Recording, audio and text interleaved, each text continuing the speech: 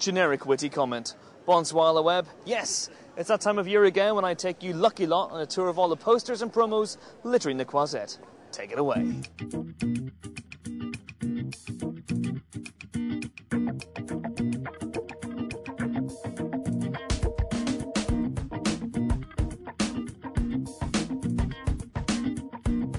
Nice poster there for Shutter Island, the new film from Leonardo DiCaprio and Martin Scorsese, which is, of course, a sequel to Larry Grayson's Shut That Door Island.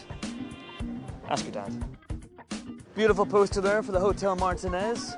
Celebrating its 80th birthday this year. It's still one of the most prestigious hotels in Cannes, but sadly now it can often be found shuffling down the Rue d'Antibes in a dressing gown at 3 in the morning, uncertain of who or where it is.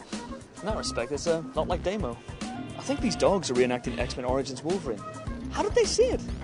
They must have downloaded it.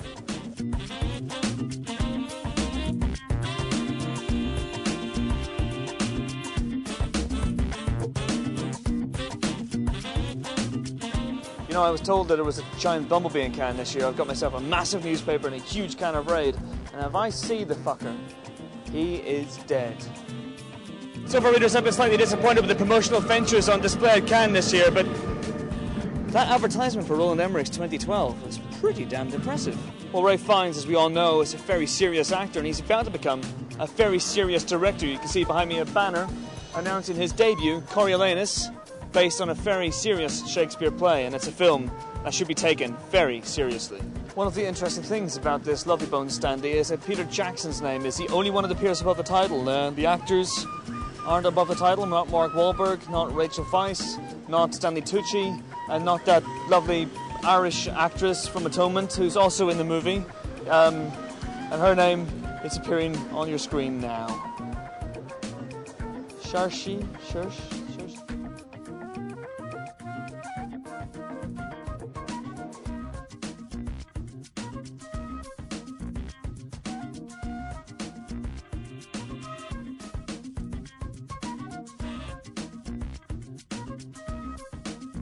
G.I. Joe, The Rise of Cobra, brought to you by Channing Tatum's crotch and Sienna Miller's arse.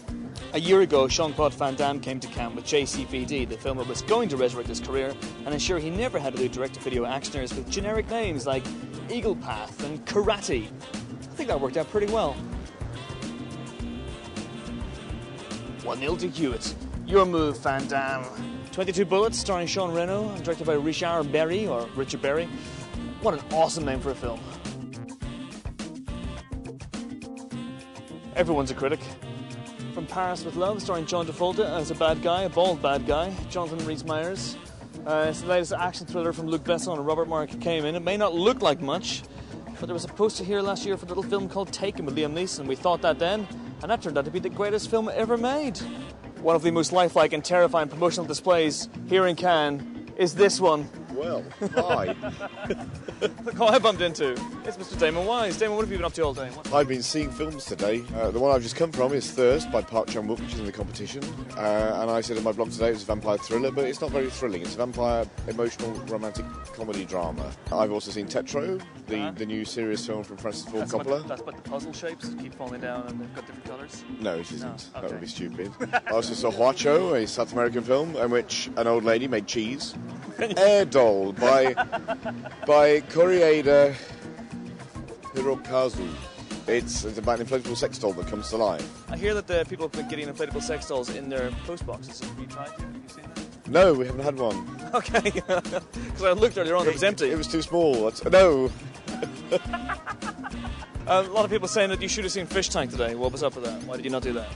uh, because it clashed with Tetro, and it was Tetro, fish tank, fish tank, Tetro, Tetro, fish tank, fish tank, Tetro.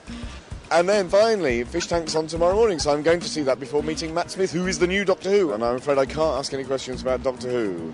So I should just have to ask him, what has he done? Woohoo! Damon Wise, thank you very much indeed. Well, I'm knackered, so I've come back to the Empire Flat, and that means that's it for this year's poster rundown. We'll be back over the weekend with more film related fun. Until then, I leave you with a poster that, quite frankly, is my favourite. Au revoir, the web. Ah, broken dreams.